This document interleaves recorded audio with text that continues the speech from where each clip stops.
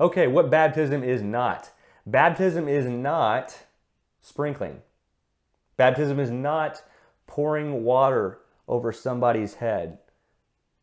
So, in terms of what people call infant baptism, by definition, it's not baptism. It would better be termed infant sprinkling or infant pouring because baptism is immersion, and unless the child is being immersed completely in water, it's something else. It's not baptism.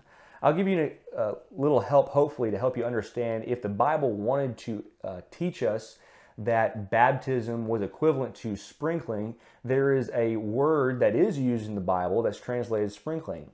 And that Greek word is proschusin. This Greek word, according to the same Greek lexicon Thayer, says a pouring or sprinkling upon, an effusion.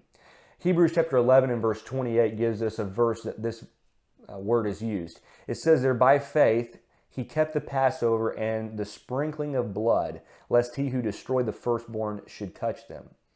And uh, sprinkling is never used, this Greek word proschusin is never used to speak of Christian immersion, Christian baptism.